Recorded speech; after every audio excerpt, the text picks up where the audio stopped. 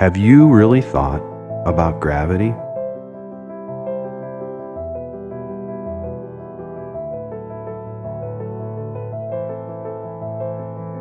Without gravity, rain would not fall to the ground.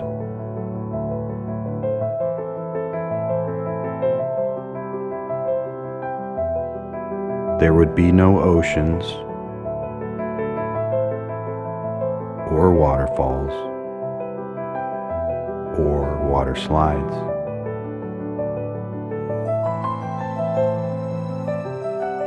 We could not have sporting events as we know them. Life as we know it on earth would not be the same.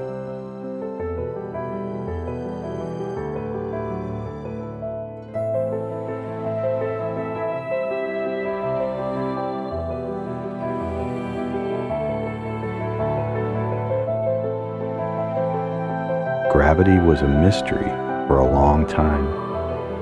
Then, in the 4th century BC, the Greek philosopher Aristotle saw that objects would fall down. He developed a theory that all objects are attracted to the center of the universe. His center of the universe was the Earth. In 1666, Isaac Newton investigated Aristotle's theory. He found that the center of gravity was not the Earth. Gravity is a universal force. Without gravity, the Earth would not orbit the Sun, and the Earth would not have a constant source of heat. The Moon would not orbit the Earth, so we would not have tides in our oceans.